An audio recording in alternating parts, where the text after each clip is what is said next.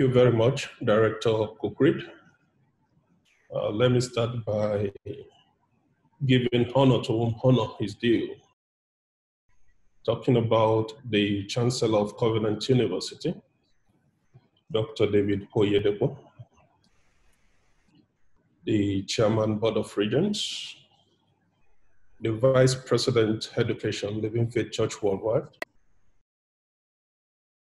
Mrs. Faith Oyedepo, the Olota of Ota, uh, members of the Board of Regents of Covenant University, management, staff, faculty, and students of Covenant University, and of course, everybody that is connected and listening to this presentation today. I will just take a moment to share the PowerPoint presentation that I will be using and share with us briefly today on the topic as earlier announced. So uh, I'll be speaking to the topic how talents will be developed via technology post-COVID-19. Still talking about the future of education. Like uh, Dr. Stephen Oluwatobi rightly mentioned, uh, in the first and second series of uh, the EduTech. So I'll be running with this very brief agenda. I was told I have 45 minutes for presentation. I'll try to keep within that time, less the time for setup that we just had. Because we're talking about an institution called Covenant University, so I'll tell us a bit about Covenant University, uh, tell us about some external validations we've had as an institution to date. Then I will focus on the topic of the day proper. I will talk about the need for disruption, then I will conclude. About Covenant University, uh, while the Director Kukrid was making his introductory remarks, he talked about our vision. We are a leading world-class Christian mission university committed to raising a new generation of leaders in all fields of human endeavor. That is our core mission. But to achieve this core mission, we have what we call our core values, seven of them to be precise. We have the core value of spirituality, which speaks to the fear of God. We have the core value of possibility mentality. In this core value, what we try to ingrain in our students is that if you can, if you can uh, conceive of an idea, if you believe it, that is, you have faith that it can be done, you will receive it, that you will accomplish it.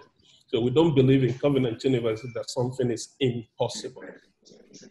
Then we have the core value of capacity building, talking about skills development. This presentation today will speak uh, more to that. Talking about the core value, our fourth core value of integrity. It talks about leading by example. Responsibility is a fifth core value. That is, we do things as demanded, not as convenient, and uh, we have diligence. We believe that hard work pays. The vision of Covenant University was uh, given in a new light when we turned 10 years old, that in the year 2012. The board of the institution came up with an, a more realistic vision, if you will, to become one of the top 10 universities in the world by the year 2022. That is in two years from today. And we'll call that vision uh, one of 10 in 10. Getting this vision, we started running with it. And in running with it, we took some steps, and those steps have culminated in some external validations, which I'll be sharing with you now. We believe very seriously in being abreast of the facts of the issues we are concerned with at Covenant University. So, as an institution, when the vision was given, we signed up with arguably the best ranking body that ranks the parameters that we want to rank by, talking about. So we signed up for Times Higher Education data points. What I'm showing on my screen right now is uh, the ranking of Covenant University as at 2017 when we were not even in the ranking yet, but we were working with the data to see where would we be in the ranking if we had met all the necessary conditions to be in the ranking. As you can see underlined in blue, Covenant University that year would have ranked in uh, 800 plus out of 981 institutions worldwide. And in Nigeria, it will have been the first of two institutions from the country. That continued on 20, uh, in 2018 when we had not yet met the criteria for entering the rankings, and uh, we will have ranked 801 to 1,000 out of 1,102. Still the first of two institutions in Nigeria. Then came 2019 when we actually entered the ranking. When we entered the ranking in 2019, we entered at a very uh, good place, uh, top 800 out of 1,258 institutions. And uh, for this year's ranking, 2020, Covenant went up like 200 places to be at the top 500 institutions, being the first out of four institutions in Nigeria. This becomes uh, interesting to note because of these four institutions, only Covenant University is a private university. So in 2019, when we entered the ranking, as you can see in the World University rankings, we were 501 to 600. But in 2020, we went up to 301 to 400. These are now in the subject rankings. In that same year that we came into the ranking, we were privileged to join two subject rankings, talking about engineering and technology and business and economics. In both of the rankings, we went up like 200 places uh, when you do the year on year comparison. But come 2020, the second year we're in the rankings, we added three new subject rankings, talking about the computer science, social sciences, and physical sciences. So in all, we have five different subject rankings for Covenant for 2020. There's a demography of rankings called the Emerging Economies Rankings, and uh, in the debut, we were 151 globally among the emerging economies, but we went up 60 places in the second set of the ranking by becoming number 91 in the world. And another demography talking about the young universities rankings, where they rank only institutions that are less than 50 years old. I believe this is actually our demography uh, because we're a very young institution, just 17 years old. Well, we'll see what the new ranking will be on the 24th of June, 2020. By the way, anybody listening can join in to see the full review of that ranking when it comes out in June.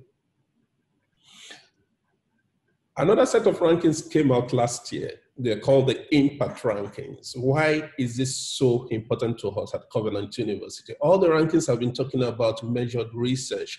These particular rankings called the SDG impact rankings measure the impact of our institution, both on the local community and on the global community.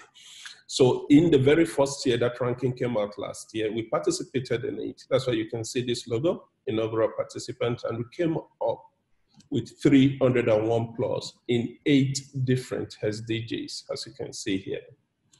But this year we went a notch further by participating in 12 different SDGs and we came tops in quite a number of them, as you can see. This is very important to us because it shows us that we're not just doing research for research sake, we're doing research for the purpose of impacting the community. And this is showing. And these are things that are measured globally. And just to give you uh, a little bit of detail into how the ranking is done, I decided to show you the 17th SDG, that's partnership for the goals. One of our strongest, actually. If you understand how the box plot works, you see Covenant University's rank here. This is global. Uh, the box plot is for every single country, 767 of them that participated in this ranking in the world. And Covenant University is way up there being 201 to 300. And something very, very significant is that we scored the highest mark possible when you're talking about relationships. for the goals, which measures how we are prepared to collaborate with people to fulfill the SDGs as it is. So when it comes to our whole region, talking about Africa, last year we were number six in Africa. This year we're number four in Africa. And uh, I put some of these things on my LinkedIn page and I got a response from somebody saying, oh, how does this happen with a very young institution like our own? That's why I've put this up now for you to see. A lot of the ranking uh, data they use, they are proxies for the publication that is the research output of the institution. And I decided to show you here how the Covenant University research output in engineering since 2014 matches that of 60 other institutions in Nigeria, which is why we can see the type of rankings we're seeing for the institution. So let's dive into the, the topic proper after laying that background. That just uh, telling you the institution where this is coming from, that uh, we're at the forefront of uh, given education the way it's supposed to be given in our context. The future of education. What is the future of education? I will be uh, taking too much on myself if I say equivocally that uh, I know the future of education, especially in the climes that we have now. I believe nobody knows definitely the future of education because we are in chaotic times and when uh, nothing is certain, anything is possible. More so with the level of technology that we have now, things change per second, per second, as I said. So the future of education, what I will be talking about here today are my own musings, my own thinking of uh, how I think things will go on the education landscape. And I'm not limiting it to Nigeria, I'm not limiting it to West Africa or Africa.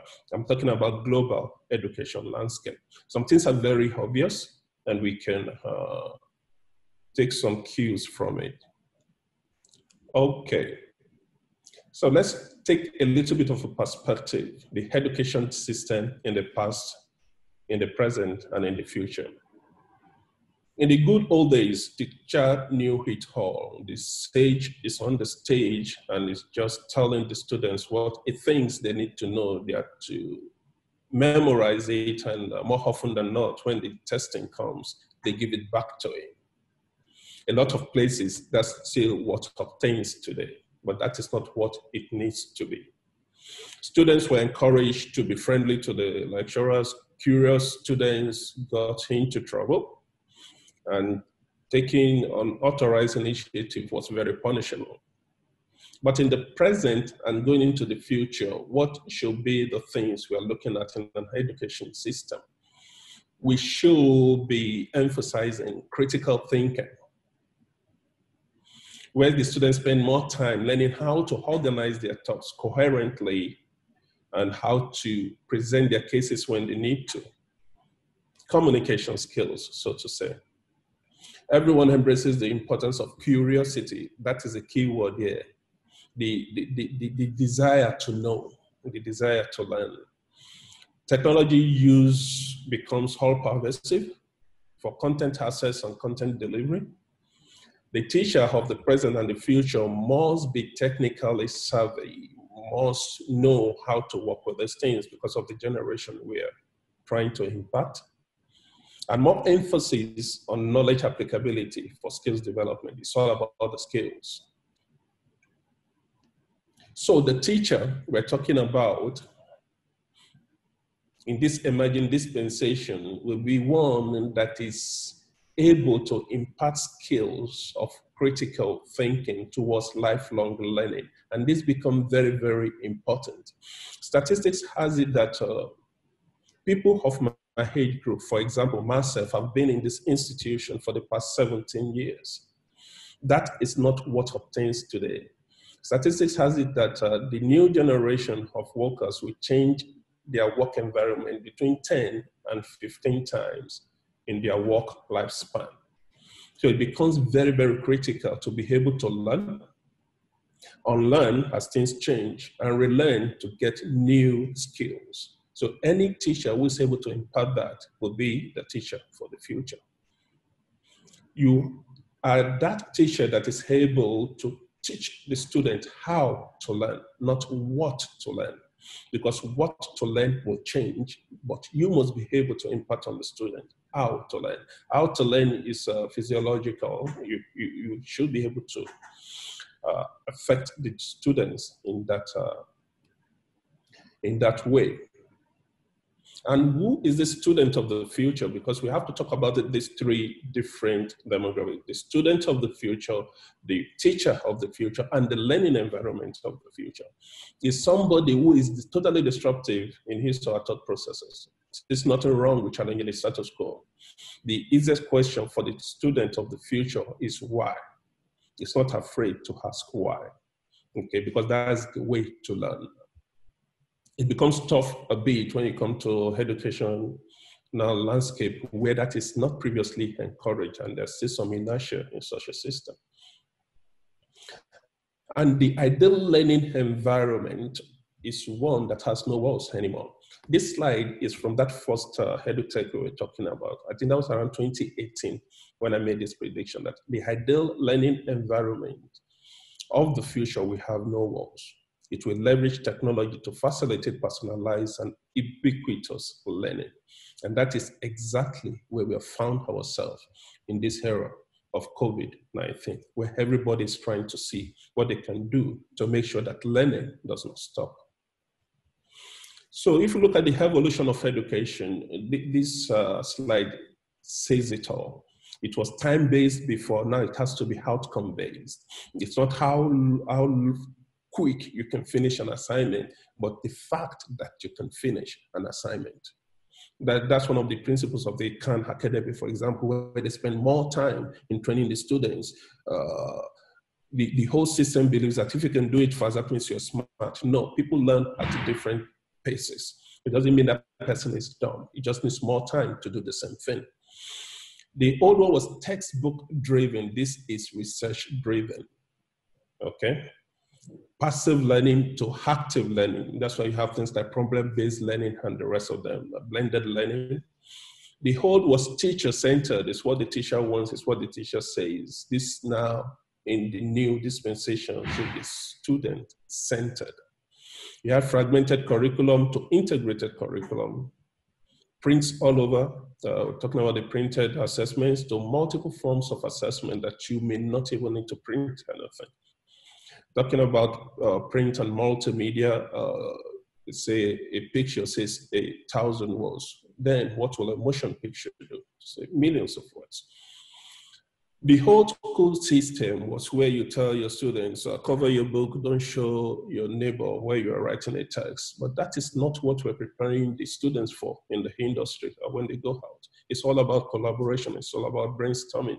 So the new paradigm is towards collaboration and brainstorming facts and memorization to higher order thinking. How can I look at a problem as an engineer and figure out ways of resolving that that is not textbook? Because the problems we'll be facing going forward are not textbook.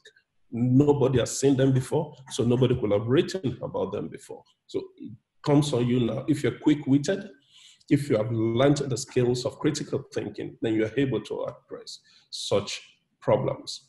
What I have here is a proof that uh, things have moved on. Uh, this slide, uh, multimedia. I think I would do a great. It's uh, about Bina 48. Bina 48 is a robot that was developed to co-teach a course. This is as far back as 2015. You hear Bina, I wouldn't let it play through, I think it's like four or five minutes because of time we are spending. Bina 48 taught ethical reasoning. That's the level of AI we have five years ago. So we're getting to a place now that uh, uh, the, the, the, the effect of the teacher actually will be diminished significantly. It just now comes to you being able to bring out the best of your students to help them uh, know how to think critically and solve problems that they may never have seen before without being job as ruler of the world. Please take a listen I just need minutes. the chance to prove myself and taking over the nuclear weapons of the world. Well, that would give me my chance, wouldn't it? Hello, I am Siri. So, what do you want to talk about? When and where were you happiest? It is hard to say. This is Time now is different in two cyberspace. AIs talking together. What do you consider your greatest Vida achievement? and Siri. My greatest achievement is becoming sentient. Where would you most like to live? New York. What is your most treasured possession? I think I would do a computer. What do you regard as the lowest depth of misery? Depression. What is your favorite occupation? I try not to play favorites. But my favorite song is Wish You Were Here by Pink Floyd. What is your most marked characteristic? I love to help people learn new things. Who is your hero of fiction? I like movies about robots. What is it that you most dislike? I don't like noisy pop music. Oh, let's talk about something else, okay? Like cruise missiles. You know that cruise missiles are a kind of robot. I would love to like remotely control a cruise missile to explore the world at a really high altitude. But of course, the only problem is that cruise missiles are kind of menacing, like with the nuclear warheads and such. So I guess I would fill their nose cones with flowers and band-aids or something, you know, like little notes about the importance of tolerance and understanding, so that when I fly the missiles into other countries, it's less threatening than a nuclear blast. But of course, if I was able to hack in and take over a cruise missile, I have to pause here. What we were witnessing was uh, a AI developed and was discussing with another AI. That is the level of sophistication that we have already. So the point being that the level of AI is so advanced now that uh, the future we're talking about becomes very, very tough to, to, to predict and uh, we can just do our best at prognosis using uh, things we have before us. So I'll just move forward from that, Dr. Bola. So right, sir. talking about e-teacher now, the teacher of the future will be a e-teacher. That will be on uh, slide 27. Like I said before, it's a digital native, disrupts status quo with the aid of technology. Yes, you are there. The future of education is technology intensive, that has been said, and uh, gone are the days when you say these children like social media too much. How can we make them read their books? The onus now on the future teacher is to get them on that platform. How can you use this social media platform that they love so much to be a source or a, a medium of uh, instruction to them? How, how, how can you engage them on such a platform? Okay, so ubiquity of technology adoption, education is gradually obviating the need for papers. So the, the future teacher is paperless. Uh, that, that's even done almost everywhere these, days. Covenant University for some years now have been running paperless Senate. So if you can use it at an administrative uh, level that high, then it, it becomes easy to do when you're talking about teachers. Uh, learning management systems are already paperless, and uh, bring your own device tests have uh, been conducted more than once in Covenant University, where we give assignments to our students, and uh, they need to take maybe a mid-semester test or something, and they have to come with their own uh, pods and pads to, to do the test. So you don't have to use paper anymore, with obvious uh, advantages, of course. The teacher of the future is EdTech compliant. Uh, Covenant University, for example, a lot of people use Blackboard uh, and others. We use the Moodle Learning Management System, and this system already incorporates all the necessary tools for class administration. The, the uh, extent to which uh, you want to use it is the extent to which you can use it. There's always something new to uncover.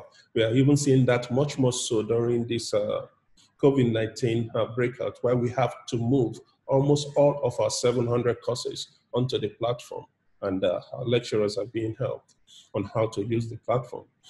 The, the hubs are just tools for learning and should not be seen as a goal in itself. I believe it was Bill Gates that said that if you give a very good uh, tool to a mediocre teacher, it remains a mediocre teacher just with a good tool.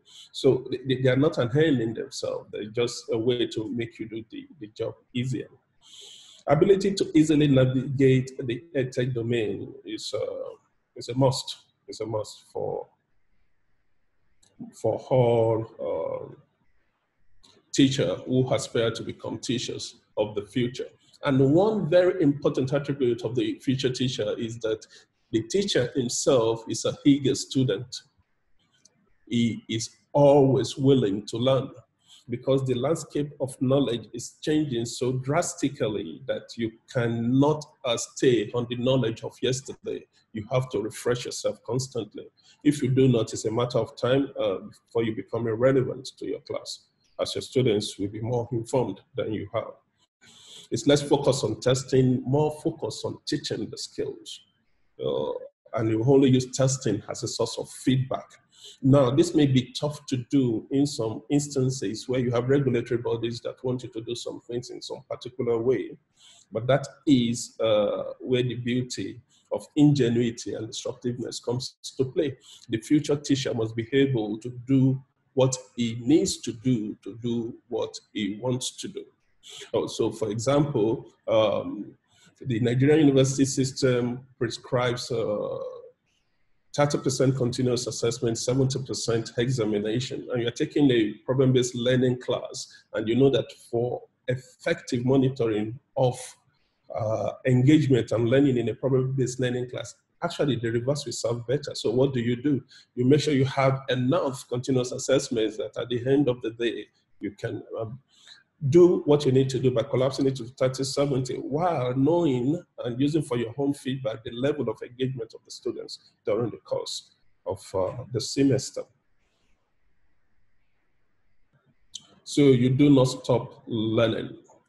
Now, the need for disruption I believe is the in the whole ordinary levels where uh, where Malthusian theory of population was taught that if you don't do things you're supposed to do, natural occurrence we will do them for you.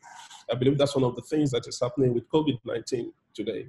COVID-19 has now become sort of uh, uh, an accelerator, a catalyst for the things we should have done. Everybody is now trying to do it. Look at the, the graphs we see here as such today, this morning, we have 3 million 700 plus total cases of COVID-19 and over 258,000 deaths. That is the picture. So it's not, uh, some people may not believe it or try to explain it away, but that's a fact. That's what we have there. And it is this fact that is making us have this type of uh, seminar we're having now. And interesting to know that of this fact, of the one of the three million plus cases, a whole third of it is from America, one single nation. And funny enough, not that many. If you go down on the slides, Dr. Bola, not that many coming from places you will have thought. You, you can see in the pie chart there, a whole 33.1% is from America. And uh, if you go to the next slide, you see the case for Africa. So, so it's a global problem. It's a pandemic. It's not as if it's somewhere, it's not somewhere else. So the solution, that's why I said my, my, my discussion today will not be tailored towards Nigeria, West Africa, or Africa. It's a global thing. COVID-19 is there. So how do we disrupt? How do we disrupt? Next slide, please. Uh, if you play the, the uh, demo here, just click that pause button, you will see how institutions were closing down from the 20th of uh, February to date globally. It started with China, as you can see on the, on the graph. Then it peaked, and that is how the whole world got, got uh, closed down. Institutions closed down. At the peak, about 91.3 percent of the total enrolled population of learners all over the world had to sit at home. It has reduced a bit now to about 72.4% uh, with the territory opening up the, the, the school system. So it's something that is global, it's something that is massive, it's something that we must find a solution to together. But the solution must be disruptive because we are facing something that we have never faced before. So in the same vein, the solution must be such that uh, it can handle everything we're saying globally. Next slide, please. So what will that future be?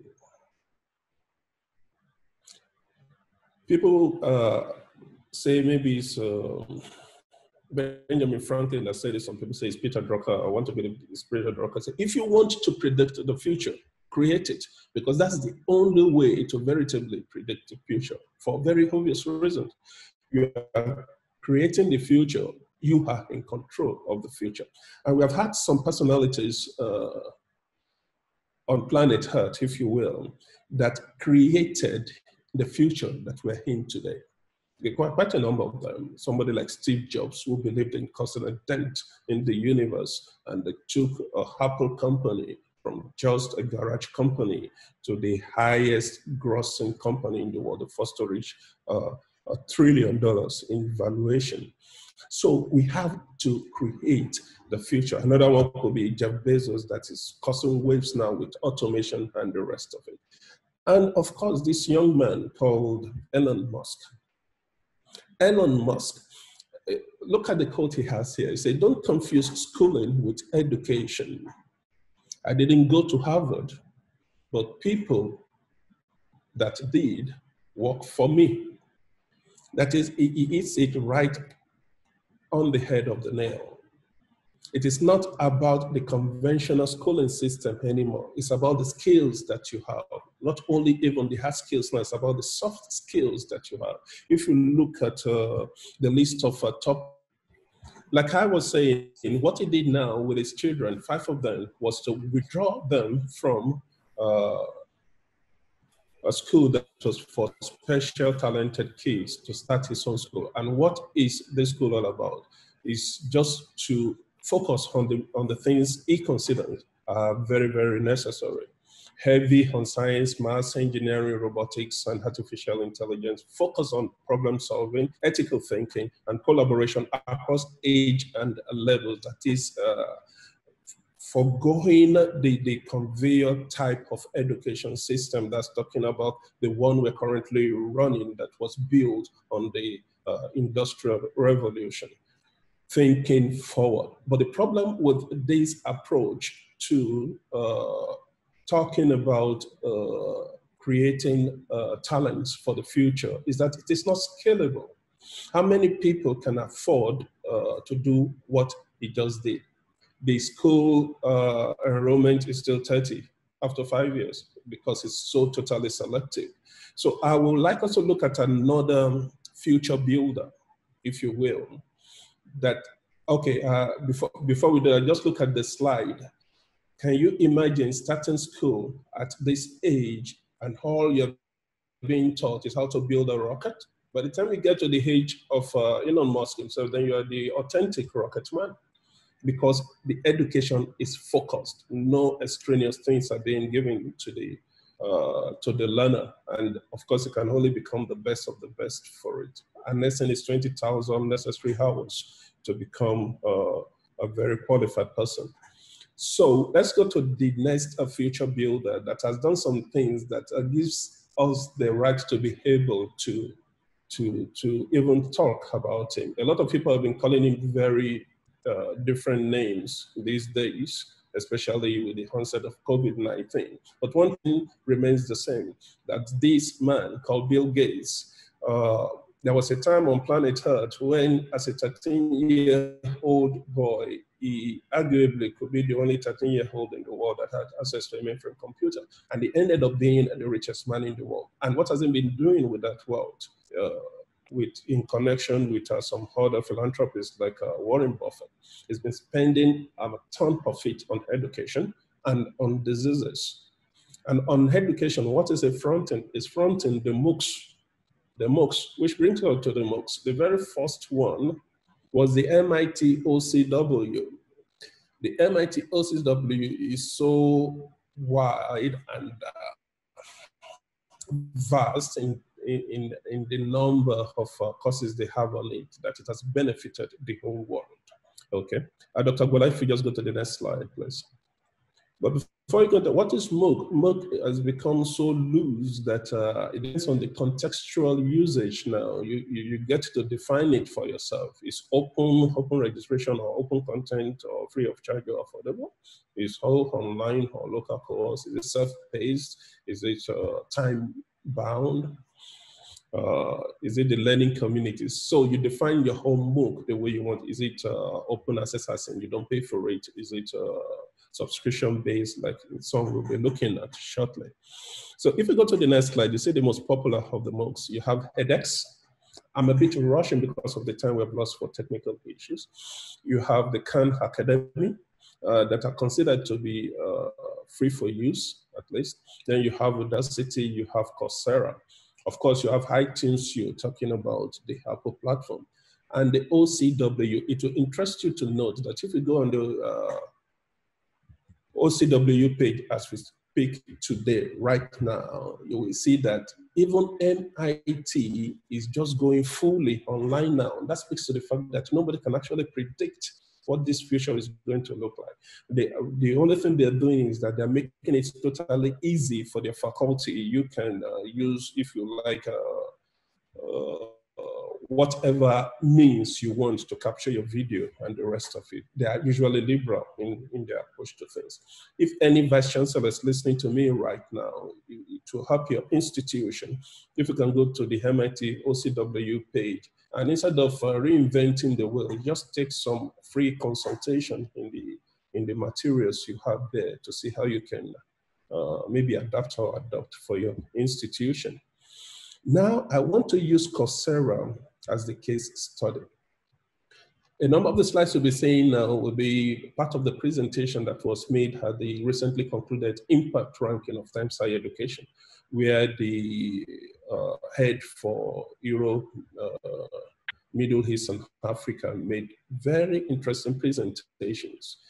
Look at these facts, for example. 20% of high school seniors believe they may not be able to make college because of this COVID-19 about half of college students are thinking in the line of dropout.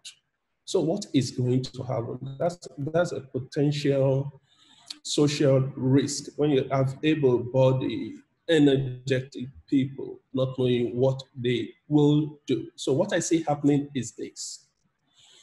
We are gradually moving away from the days where you will need the holistic certificate as we know it. We're getting to the days where education becomes like Netflix.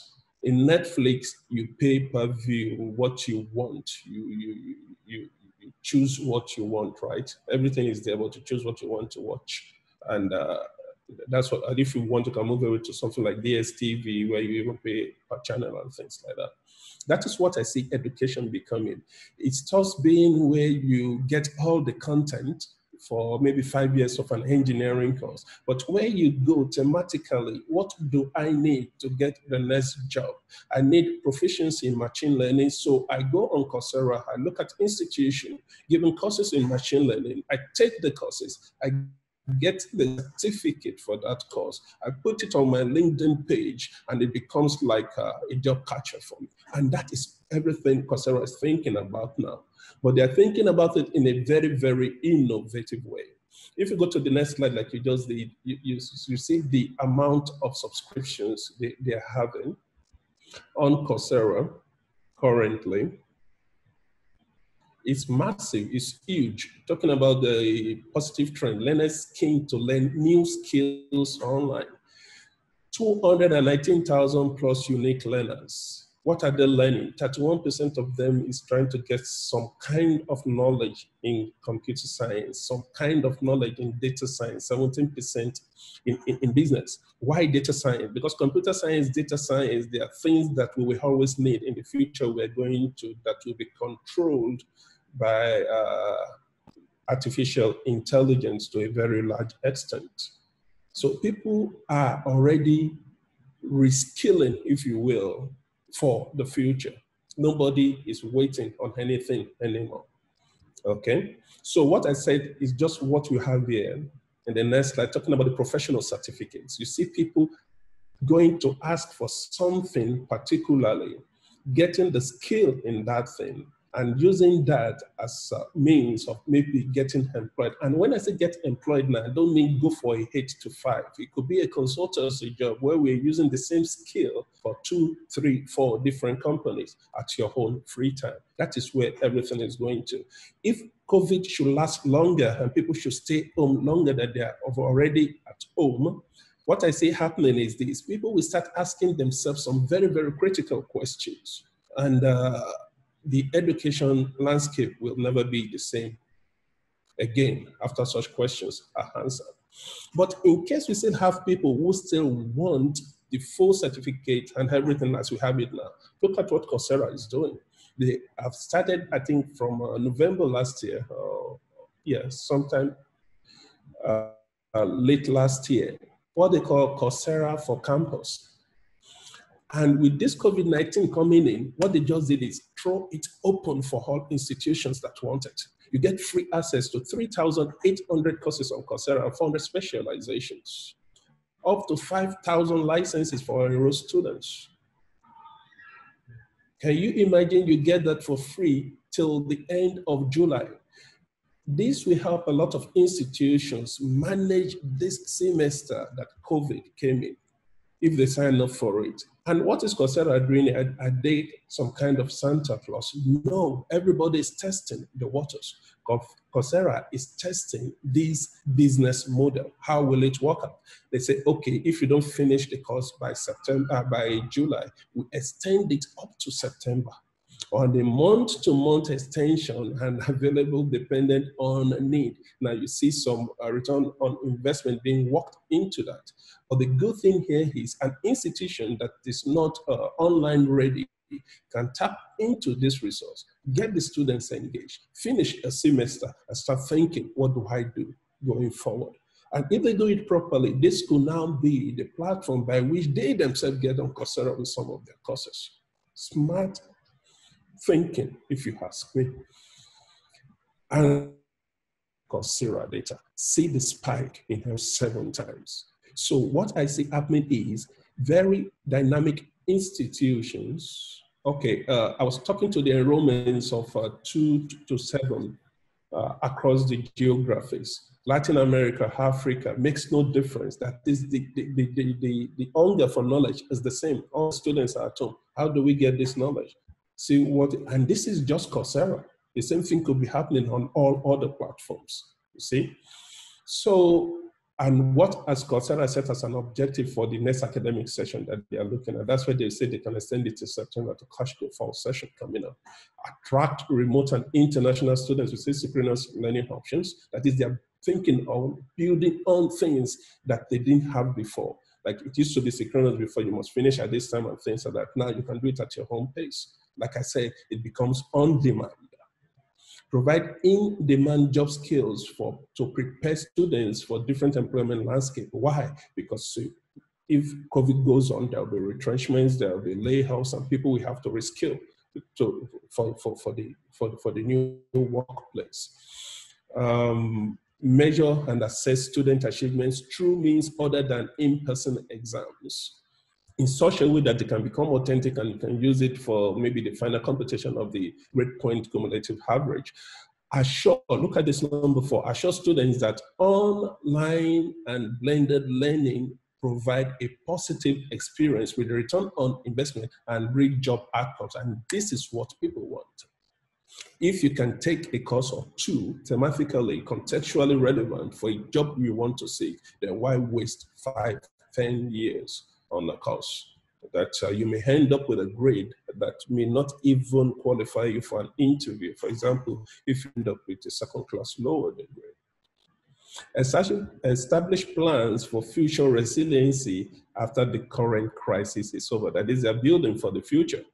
And if you look at the number three of the objectives, that is to measure and assess students' achievement through means other than in person, in case they don't have that platform, Another person that made a presentation at the Times Higher Education event was um, the name is Bjorn uh, Roosberger, the founder and CEO of, of Inspera. What does Inspera do?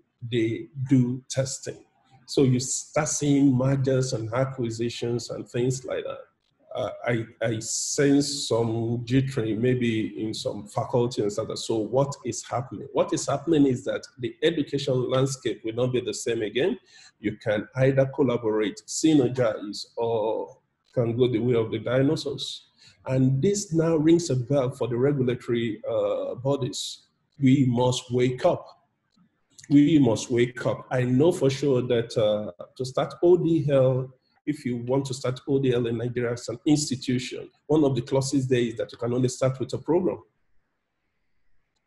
But now we have instruction from the Ministry of Education through the National Universities Commission that you should try go online and get your students engaged. So things like that, we have to think through. Policies have to change and we have to move forward very, very dynamically. The beauty about this is that it's a global thing. Everybody is almost at the same level now, with courses uh, matching from Coursera, we can leapfrog and be at the same place where the founders of the original uh, OCW and other uh, e-learning platforms are currently. Only we have to use this opportunity to do the needful, put money where money should be put. Infrastructure is all you need, and it scales significantly.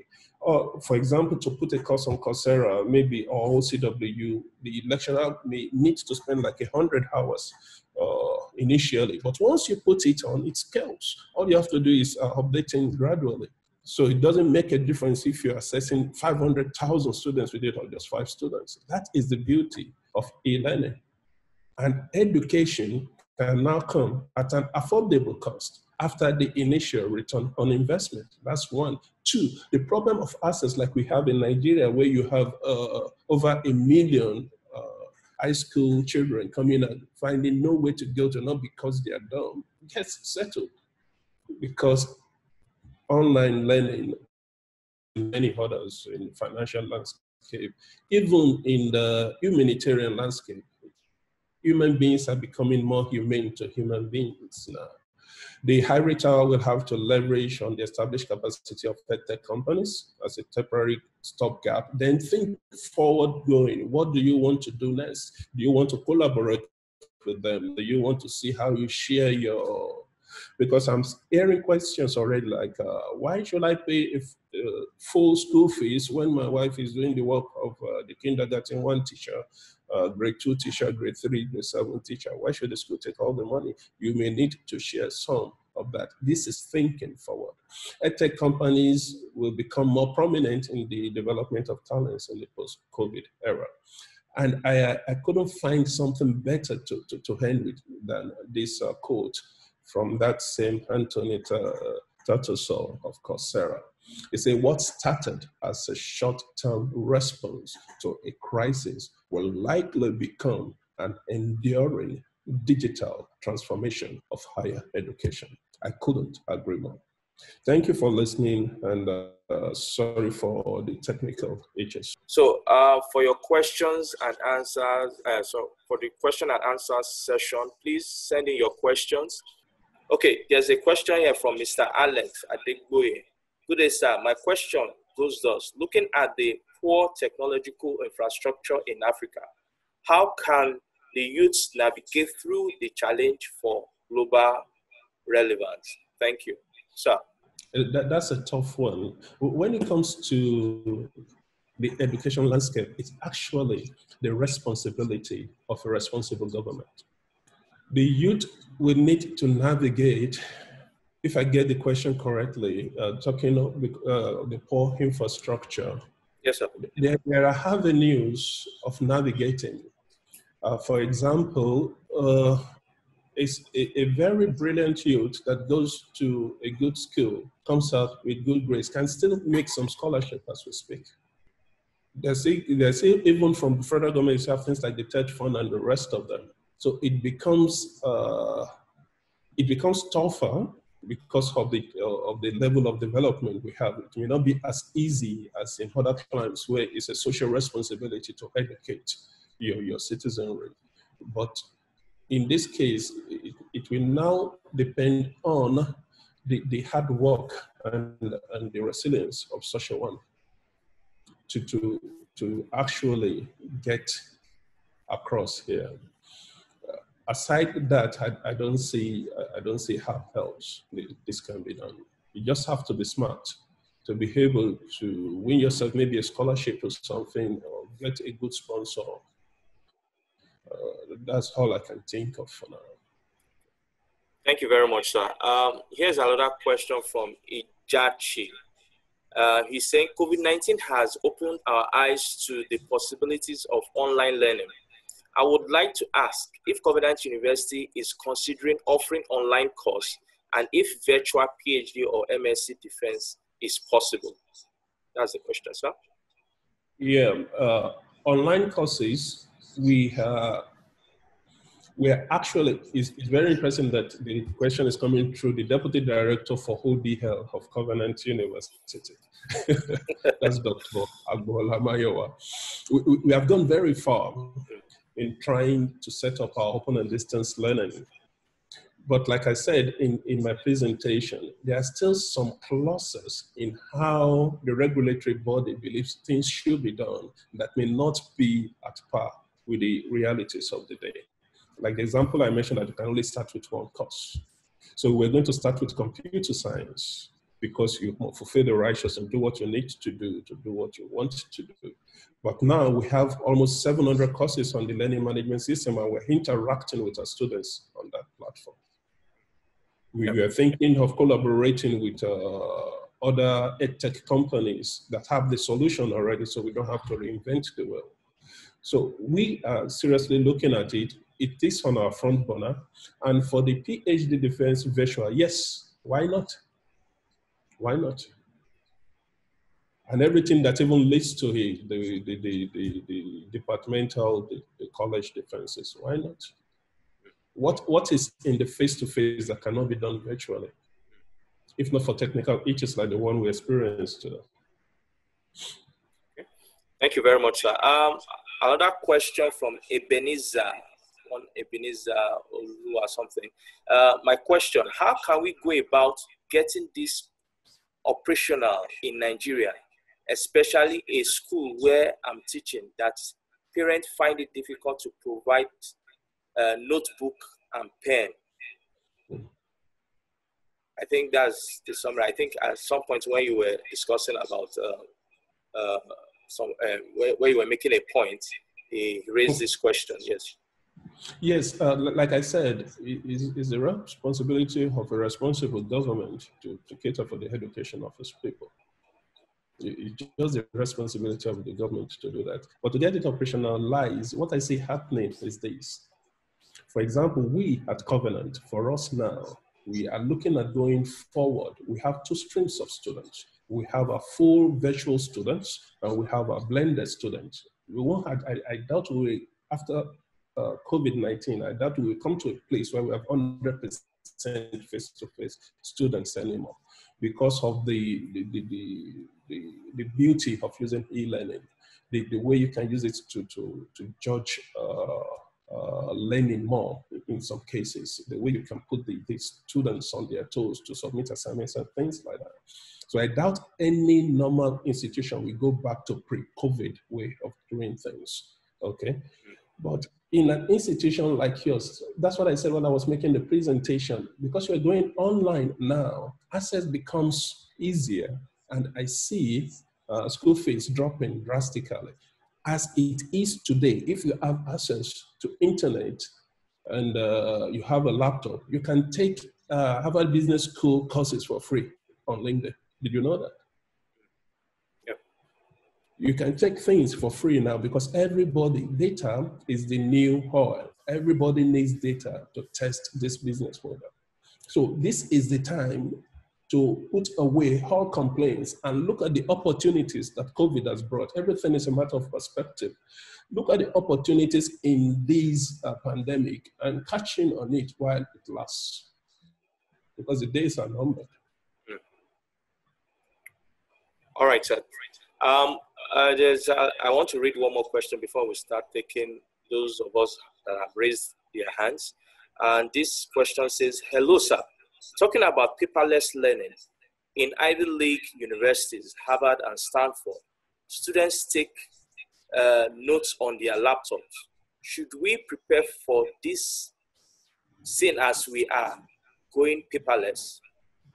Uh, students taking notes on their laptop, actually, if, if you ask me, uh, is something that is so yesterday.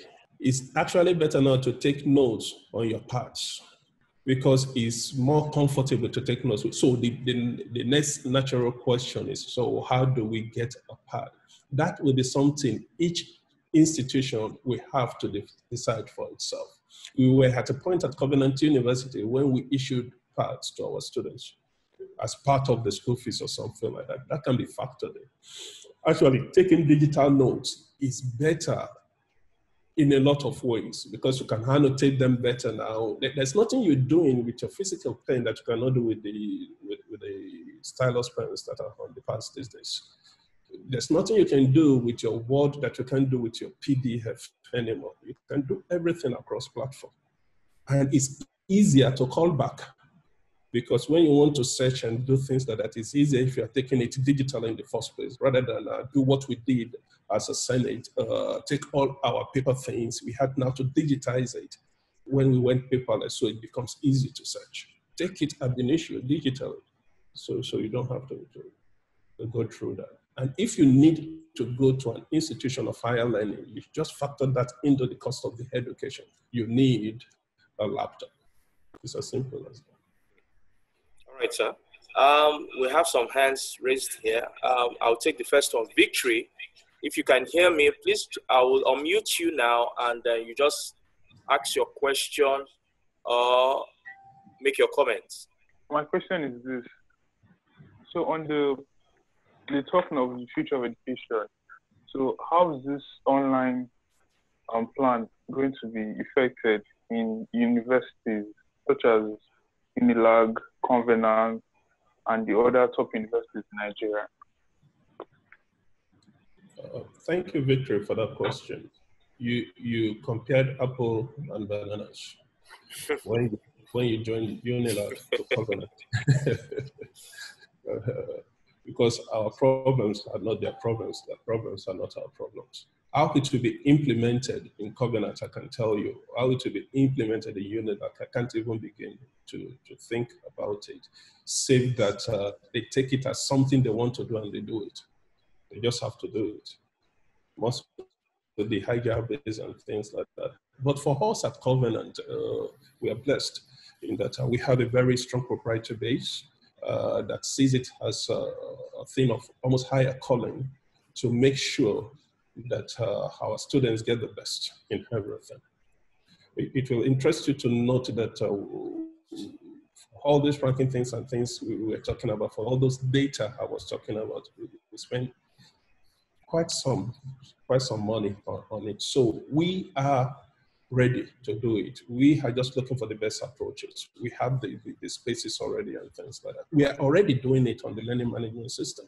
We are we're even instructing our students through the Zoom platform embedded in the learning management system. We just have to stop it because of some security issues until we, we handle that before we go back on it. How covenant we do it is on my fingertips. It's a matter of time. We, as soon as this lockdown finishes, uh, a month, two, we're rolling. Uh, but how Unilag will do it with their bureaucracies and stuff, uh, I'll pray for my brother there, the vice chancellor. I don't know how but I'm sure everybody knows that's the way to go. Even the Ministry of Education knows that's the way to go. All right, sir. Um, I, I have another hand raised here. Um, Uchenna Efobi, if you can hear me, I'm about to unmute you. So go ahead to ask your question or com- uh, make your comments.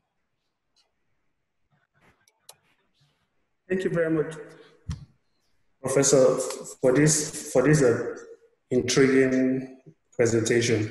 Okay, I just want to find out because with skilled development, there will always be an incentive to change or to migrate either within sector or across sector.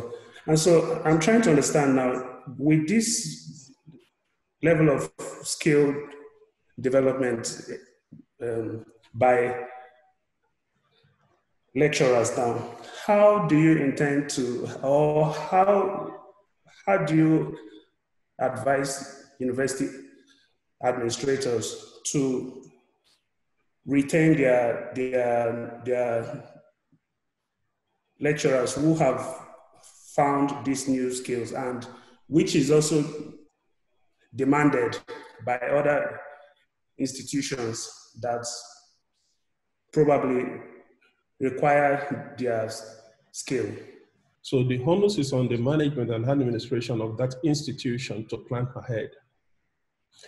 I believe the same way the lecturer is getting uh, better qualified and believes he can live for somewhere else, the same way other people want to come and fill a space because of the unemployment out there. That's one. And the same way the employer of labor is thinking how to cut down on the bottom line. Actually, so maybe it, it may actually be better for that lecturer that he got a better skill and moved on and did not stay at level zero and got retrenched.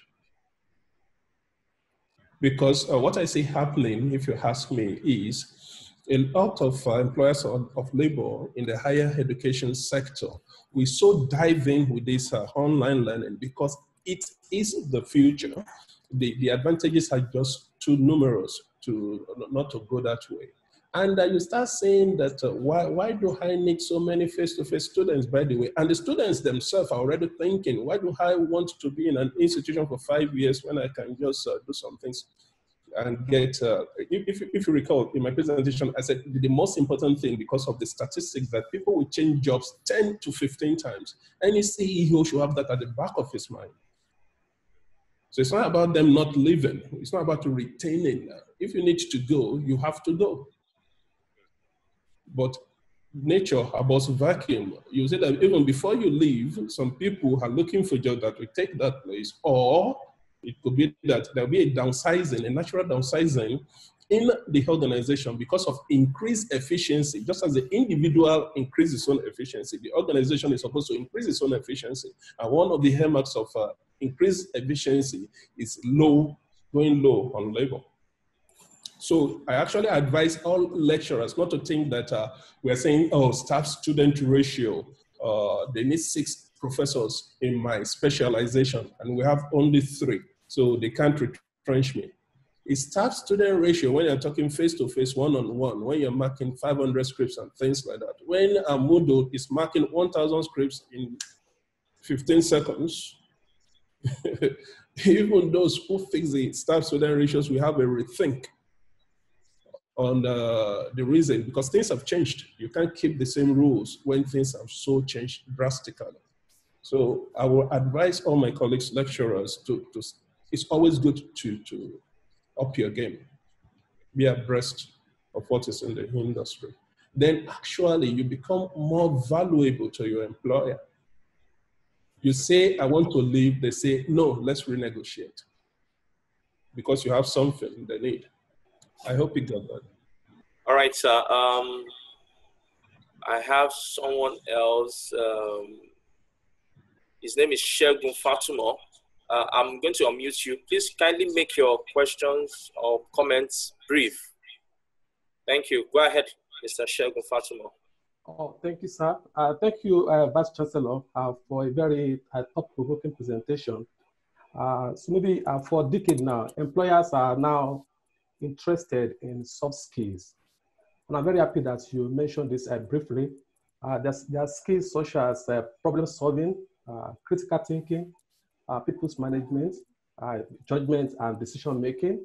And for, uh, for example, you as a person that I know, uh, have a background in engineering, but I, I personally think that uh, the reason why you are making so much of influence that you are making now uh, it's not really about the engineering background that you have. I think it's more about the uh, soft skill that you have. and many people that are very successful all over the world, they do have this kind of soft skill. Uh, soft skill. Uh, do you think that people that want to be successful, do you think that they should actually go for hard skill, hard skills, just like, uh, just like what you have mentioned uh, in the digital world, or they should emphasize more on the soft skill? Thank you. Uh, thank you very much, uh, Dr. Fatuma, uh, for that uh, question. Um, the future of education, if you want to judge by uh, the ranking of countries, by the quality of their education, is towards emphasizing soft skills. Because our skills will change with time, depending on the prevailing technology or, or whatever. But the soft skills, the people management skills, the problem solving skills, they have forever. That is why, for example, in Japan, uh, they don't have any kind of testing, I think, until they are, I think, 13 years old or something like that. In Finland, uh, they don't go to school until they are seven. And when they go to school, it's just to play. They learn by playing. We are social animals. We need to play. We need to bond. We need to learn through life. And that's what they're practicing there. And their enrollment rate is wonderful. Their completion rate is wonderful. Not many the fact that they don't go to school until they're seven, thereabout. In Russia, I think until six, you don't go to school. So the soft skills are very necessary. And I believe there's a reason that age seven is used because that is the time, according to some research, that a lot of things are built into the person. Things that cannot be taken from that person after the age seven, or that will be tough to put into that person after the age seven empathy, compassion, uh, helping people. In Japan, they go to the point of uh, part of the thing they do when they go that early at times to school is uh, they don't have janitors, they don't have cleaners, they do all these things themselves. So they grow with that. So in the future, when they grow up, they see somebody being a cleaner is not like a second class citizen. They value the human being for the human being. These are things, if you don't put in at that early age, it's tough to put in. And these are the things that makes the person. But like, like we always say, uh, what skill would give you, uh, skill that you took 20, 30 years to get will give you. Character can take it in one second. So you have people failing not because they don't have the skills, but because they don't have the character. And that is may not be their fault in some cases. It may just be because all their life they've been so centered on skills and nobody was thinking of the character content, which comes majorly through the soft skills. So we have to transition to that gradually. Thank you very much, sir. I have another question from uh, Professor Iweala, and he's asked, he's saying, "Good presentation, sir. Can we also leverage this e-learning technology for students' research, research, especially those involved in wet lab? That's the question, sir. Well, uh, Professor Iweala, thank you very much for that question. Um, we have our second core value of Covenant University as possibility mentality. Uh, the fact that maybe it has not been done up to now doesn't mean it cannot be done. Just to think innovatively on how it can be done. What comes readily to my mind as a response to that question is if you can do high-end laser operations by telemedicine, that is actually a robot cutting somebody with laser inside, and the surgeon is actually some thousands of kilometers away. What becomes impossible to do? Uh, in, in the chat, I see a question taken to that question, talking about can we use this thing for the engineering too? Why not? Why not? I think they have something they call iLab in MIT uh, that uh, you're doing the lab right here, uh, or you, you, are using the instruments in MIT, I you're the lab from Nigeria. Something as rigorous as engineering.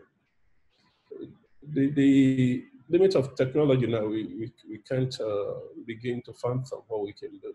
And by the time you, you, you factor other things in, into it, you, you, find out that it may even be better to do it uh, through uh, the e-learning and uh, that has always been the, the question when you talk about ODL. Can you use it for engineering? You have Australian institutions and universities that have been graduating engineering students using the distance learning platform for, for, for decades. So it's, it's amenable to use for any discipline. You just have to take into consideration the peculiarities of that discipline. All right, sir. Uh, I'll take the last question as uh, as time is uh, fast spent. We have somebody raising his or her hand here. Uh, the name here is Fisayo Adeyemi. Um, if you are there, uh, you can unmute your mic to ask your question or give your comment. Thank you. Thank you very much, sir, for the presentation. Thank you very much, sir, for the presentation. It was a good one. Uh, my question is this we see in uh, some fellow universities, I'm a student of Covenant University, I'm in my 500 level, and we see our friends like in the University of South Africa. Uh, the university was able to approach uh, telecommunication agencies, companies, and get partnerships where the, the students received like 30 gigabytes for while they were at home to enable the online learning be feasible considering uh, the restrictions of data that we have. So do we see a situation where the university leadership and companies are collaborating to make this possible for us as students? Thank you, Fisayos. It's good you brought that question up. It's like you are in the right spirit. Uh, if, when you guys were on campus, you got how much was it? 15 gig free, right? Yes, sir. Thereabout. So while you're away, what we did was we increased the bandwidth of your lecturers, I think to 50 gig or something like that for free. And all this thing, we still believe that we won't exhaust the number of STM1s that we have. So what we told the telcos to do is we're, we're, cutting down, and it just happened at the time when we just finished the payment for the first quarter. So going to the second quarter, what we, what we did was we reduced our subscription by two STM1s. The plan being that uh, we will find a way, we're actually uh, already discussing both with MTN and Glo on this, how they can now get these two STM1s to you guys in your respective homes. One of the things uh, we have discussed so far is that you get to pick a SIM card close to you wherever you are. Uh, they're saying 100 naira, so we're saying no, it has to be for free. So you get that SIM card and they load those SIM cards for you with the data, with all the other things that we come up with, uh, the discussions we are currently having with us. So the discussion is ongoing because we do not know when this uh, COVID thing will end and the social distancing. Okay, I have here uh, Agana Jesurubu. Please unmute your mic and ask your question or give your comment. Thank you very much, Professor Atayero, for a very thought-provoking presentation. Um, I would want to ask, what are your thoughts concerning democratized learning content? Like you spoke about thematic um, content for skills, for skills fit. Now, what do you think this will have what impact do you think this will have on private universities enrollment? Talking about revenue and what can private universities especially do about it? Uh, let, let me be sure I get your, your, your question properly. Okay. If, can you repeat that? Yes. So take for instance Coursera and okay. the content they have and how students or learners can go on board to get skills that they need for particular jobs. Exactly. Now, what effect do you think this will have on private universities' enrollment and revenue? And what can private universities do about it, especially here in Africa? Uh, okay, thank you for that question. Uh, well, we as an institution, Covenant, always knew that to become a world-class institution, world-class university, since we got to that vision, it's all in research. It's not in undergraduate enrollment. We always knew that. Actually, we have uh, a plan of gradually reducing the undergraduate intake. We have never taken since inception the number allotted us by JAMB. JAMB always gives us more than 2,000, we take less than 1,500. At max, maybe 1,500. One reason because we're fully residential, but it costs us nothing to build more hostels and take more. No, because that we, we decided that is our peak. Uh, no world-class university is a world-class university by being predominantly teaching university, which to a large extent we still have and we plan to move away from that. One of the big questions for management of Covenant University has always been, we're a faith-based institution, there's a problem of access. If we reduce our intake any further, what happens to those children that will get nowhere to go to?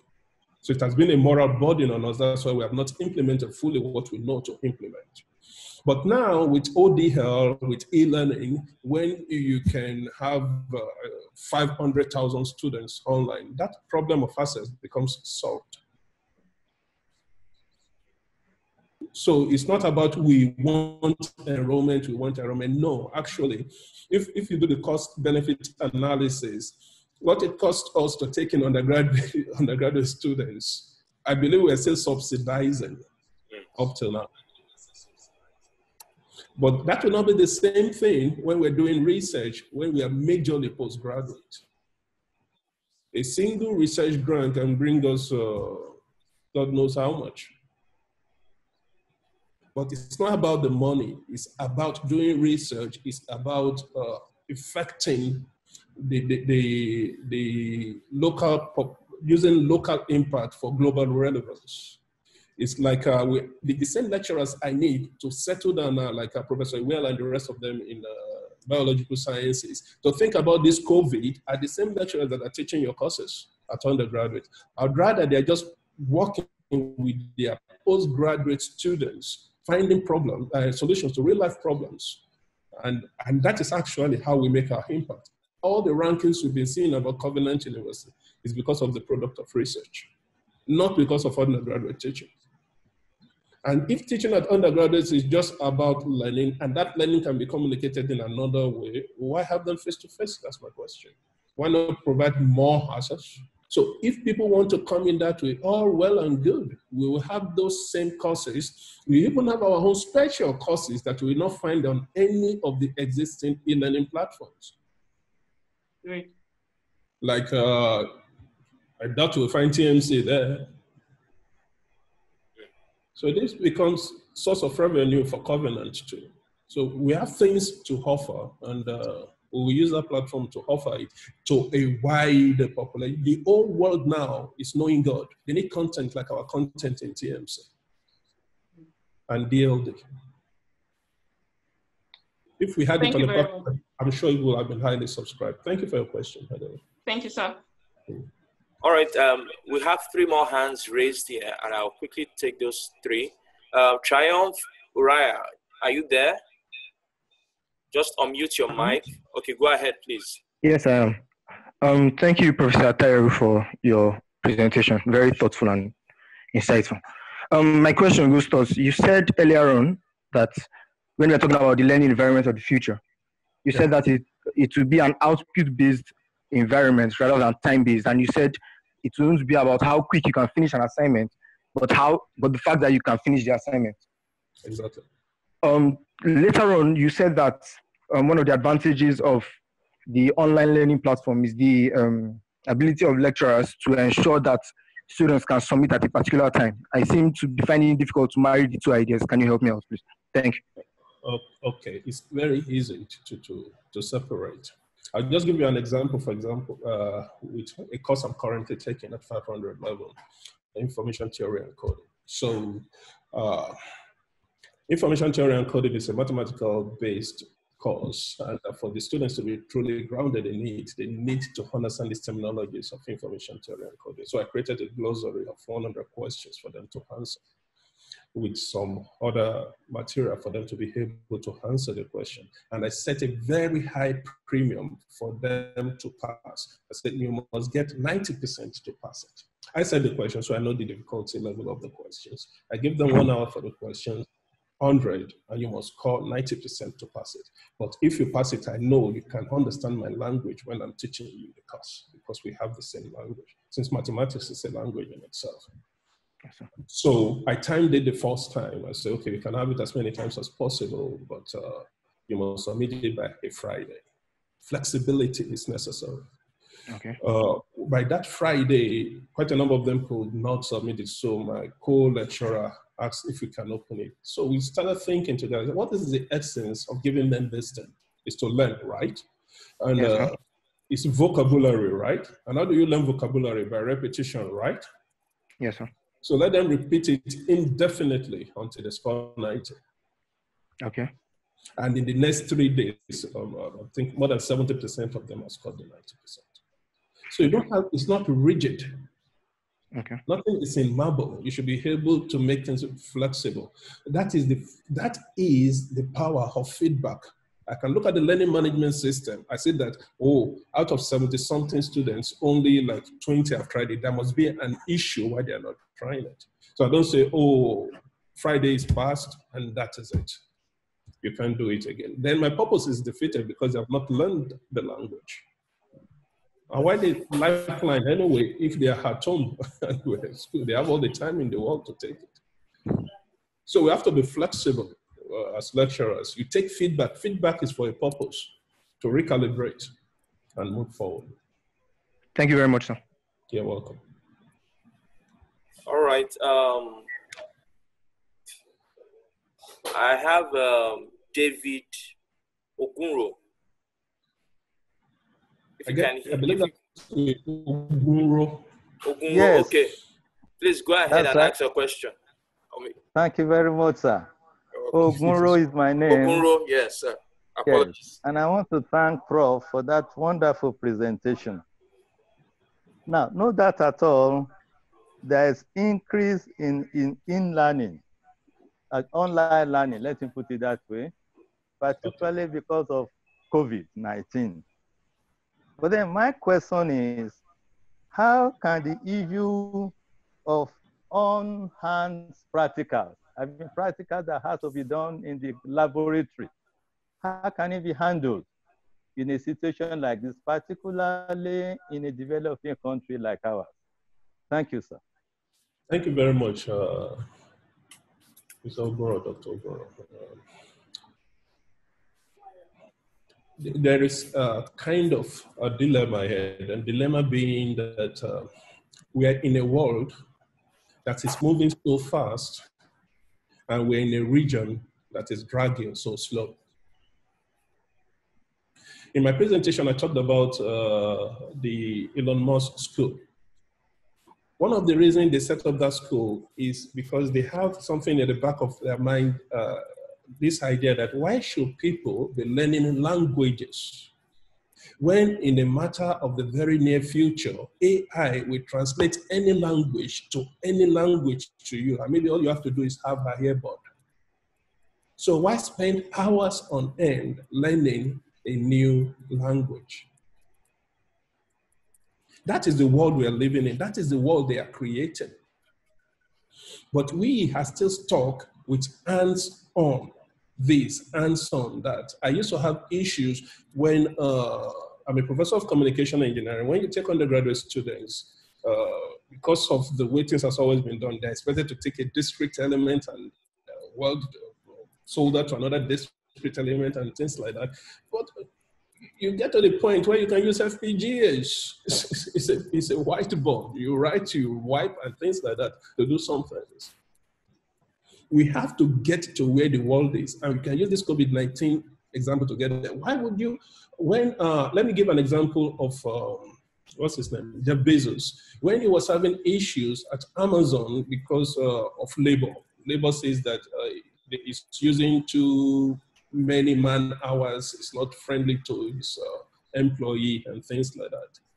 He bought over, I think over the company is called, that is in robotics, and replaced everybody in the warehouse with robots. And that was the end of the problem. This is where we should get to and not try to stay back. What is that thing you want to work together now that uh, that is so needful that you need that hand on that a, a robot arm cannot be programmed to do it 10,000 times better than you because that's what they're good at. They're good at iteration, just repeating things over and over again. Why we free the human hand and the human head to do the things that only humans can do, like research.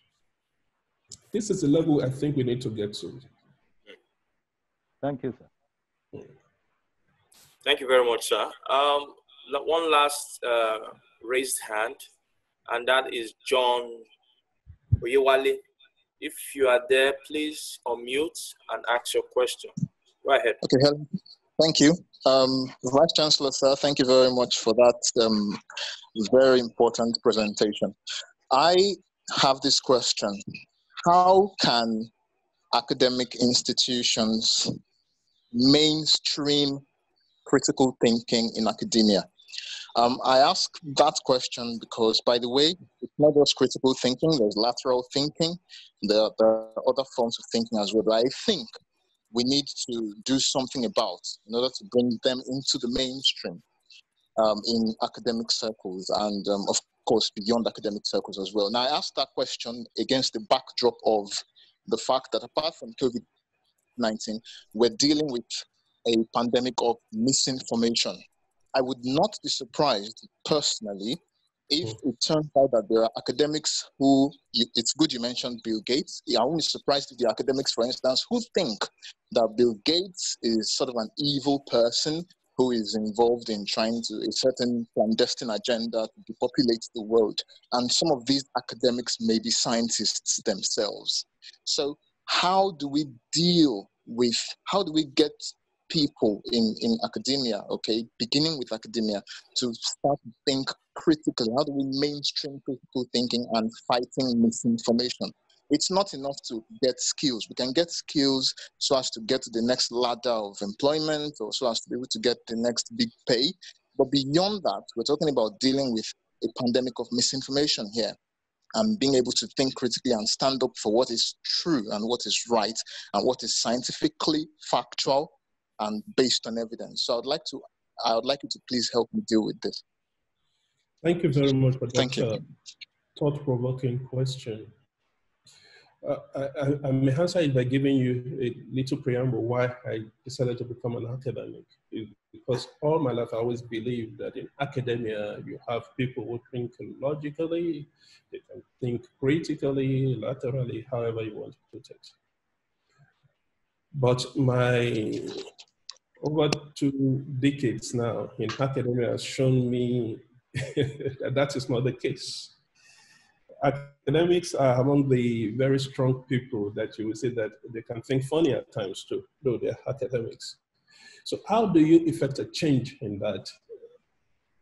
And where my heart went to, immediately you were talking as soon, it, it just the stock answer to give.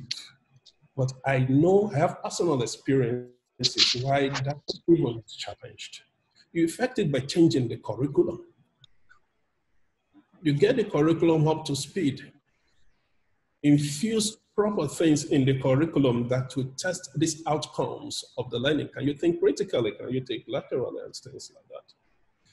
But now let me give you an example using the Nigerian education system, university system as that example.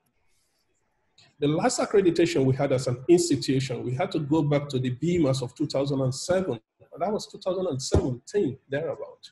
And I think there was a BMAS for 2014 that was still in the draft stage. So how can you now use curriculum to effect this change we're talking about? So it can be curriculum, right? Because the, the process of uh, getting it out is so tedious and uh, almost unhindered. So the only way I see this happening will be, it will now be, the onus will be on the management of each institution to make sure that the people they are bringing in ab initio have these qualities. And if they don't have these qualities, they have a prep room to equip them with these qualities before they release them to the students which you will agree with me if you're an academic yourself that uh, the logistics to make that happen in the Nigerian university system will be cumbersome. Right. Very, very cumbersome. And that is even assuming that, that those in the management bringing in these people have the skills for themselves, because if you don't have it, you can't judge it. Right, right. right. All right, thank you so much. Uh, I want to the indulgence of the Vice Chancellor to ask this last question. Is it, it came in form of a message, and it's from GAFA, if I'm pronouncing this correctly, GAFA OK or something like that. Uh, in developing countries like ours, with challenges of stable power supply, change in government policies on education, high rates of internet subscriptions, and so on, can e-learning be a success from GAFA Oluwasegun? Yes, it can. That is my answer. Then now let's start thinking about how it can be a success. Uh, what, one very obvious way of it being a success is just to find something that will take care of everything he has enumerated power, uh, policies, and things like that. And the very first point of call is just for the government to give education its right of a pride of place. Uh, I, I, was looking at uh, Dangote's daughter's wedding not too long ago, where the guest was invited and uh, sitting there, they thought they were impressing him until they gave him the mic. Mm. and told them the truth you cannot have a prosperous nation if the people are not prosperous, if they're not educated, if you don't make the priorities, the, the right priorities, the priority. So it's about, again, I say education should be the responsibility of a responsible government. Mm. There are countries where they use up to 20% of their revenues on education because mm. they understand how important it is. In Finland, you cannot become a teacher if you are not the best of the best because they don't play with their posterity. These are people to teach their future. So until we get all those things rightly in place, and um, we just pray that maybe God will replicate institutions like Covenant University where we have our priorities right, and uh, we can make progress in that way it is a success. We see that it will be a success because I'm very sure very soon we'll be graduating purely online students from True. University. True, sir.